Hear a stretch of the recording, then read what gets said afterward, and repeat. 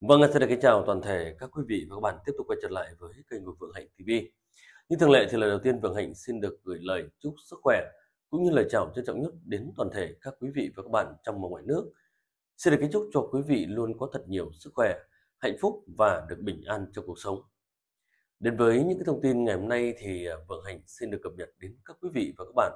những cái thông tin tiếp theo liên quan tới vụ việc của em Vũ.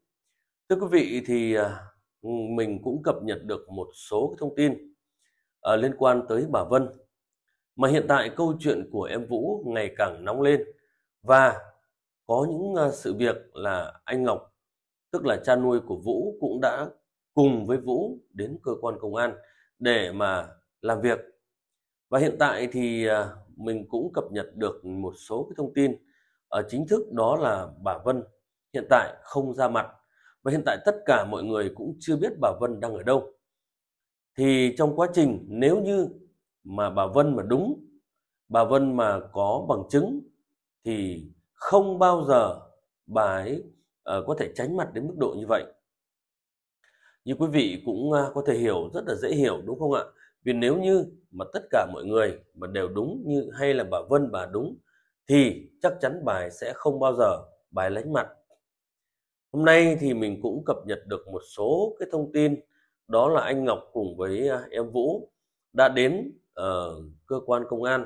để làm việc và để uh, cho công an người ta thu thập những cái chứng cứ để chuẩn bị tới đây sẽ uh, có những cái uh, xét xử để mà xem bên nào là bên đúng bên nào là bên sai. Nhưng nếu hiện tại lúc này đây thì các quý vị phải biết là bà Vân nếu không ra mặt, nếu không ra mặt,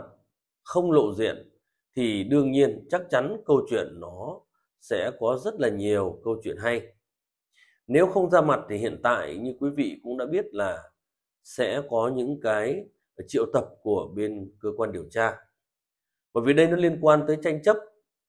Cái thứ nhất là tranh chấp, nhưng cái thứ hai là bà Vân lại bán cái mảnh đất này đi, không rõ nguồn gốc thì đương nhiên nếu Vũ cùng với anh Ngọc đưa tất cả những cái bằng chứng, đưa tất cả những cái di chúc, những cái gì liên quan tới cái di chúc và giấy tờ của Vũ thì đương nhiên bà Vân à, theo ý của mình nghĩ thì chắc chắn sẽ phải cái thứ nhất là phải trả lại, cái thứ hai là phải ờ, chịu tội trước pháp luật đó mọi người. Bởi vì cái việc này nó liên quan tới đất đai tranh chấp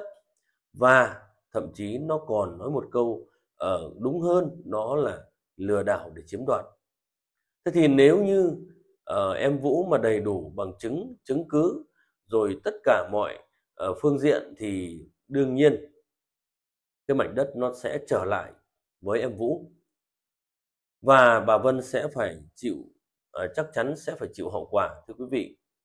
bởi vì uh, mình vẫn nói với các quý vị rất là nhiều đó là nếu nó rơi vào cách đây nó khoảng 20 năm về trước thì các quý vị phải hiểu là cái thông tin đại chúng lúc ấy nó kém, internet nó kém. Thì chúng ta làm gì thì chỉ ở khu vực đó biết thôi. Đó, chúng ta làm gì thì chỉ ở khu vực đó biết thôi. Nhưng xã hội bây giờ, thời 4.0 thì các quý vị làm gì? Trái với luân thường đạo lý, trái với lương tâm, thì cả nước người ta biết vì thông tin đại chúng, vì internet đưa đẩy thông tin rất nhanh. Và hiện tại những người dân bình thường cũng đã làm uh, YouTube hay là uh, làm Facebook hay làm TikTok thì các quý vị phải biết là thông tin nó chạy rất nhanh. Cho nên bà Vân cái thủ đoạn của bà ấy thì đương nhiên tới đây mình nghĩ rằng bà sẽ phải trả lại miếng đất đó cho em Vũ cũng như không khéo còn phải chịu tội trước pháp luật. Vì nếu em Vũ đầy đủ chứng cứ thì bà Vân lại thành ra là mang một cái tội à, quý vị ạ à, mang một cái tội thì đương nhiên là phải chịu tội trước pháp luật. Rất là nhiều ngày rất là nhiều tháng và em Vũ cũng vật lộn với cái công việc của mình. Đó là đòi lại công lý đòi lại những cái gì thuộc về em Vũ. Thế nhưng bà Vân thì là một bà cô nhưng không không có tình cảm không tức là thương cháu mình chút nào. Và đằng này thì bà Vân lại làm ra một cái chuyện mà nó thật sự nó không còn tình người. Thì đương nhiên những người người ta bức xúc người ta phải đòi lại công bằng. Ví dụ như anh Ngọc anh ấy cũng rất là sát sao ừ, và tất cả các kênh YouTube cũng uh, đưa những thông tin lên rất nhiều. Nhưng không phải là YouTube nào đưa cũng lên cũng đúng như quý vị. Có kênh thì đúng có kênh thì uh, sai không không đúng sự thật thế còn mình nói thật với quý vị là hiện tại thì ở uh, cái thông tin mà bà Vân chưa lộ diện thì cái thông tin đó cũng là thật. Vì theo mình hiểu là bà Vân này sẽ có một cái khúc mắc gì đó nó về liên quan tới giấy tờ mua bán liên quan tới tất cả những cái việc mà không thể làm chứng nổi trong cái việc mà bà ấy bán đất. Thì đây là một trong cái câu chuyện mà sẽ uh, lật ngược tình thế trong cái giai đoạn này và những cái hình ảnh các quý vị có thể nhìn thấy đó là những cái hình ảnh mà anh Ngọc cùng với em Vũ đang đến cơ quan công an để mà trình bày những cái uh, giấy tờ có thể liên quan và nói hết mọi sự thật cho cơ quan công an điều tra khai hết những cái gì mà hiện tại đang thuộc về uh, tức là của em Vũ. Thế thì nếu như bà Vân không đến thì đương nhiên cơ quan điều tra người ta sẽ phải triệu tập.